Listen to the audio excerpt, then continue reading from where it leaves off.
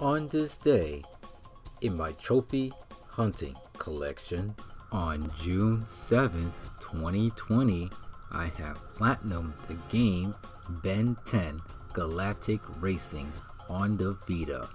And I have got the 100% on the game It's Spring Again.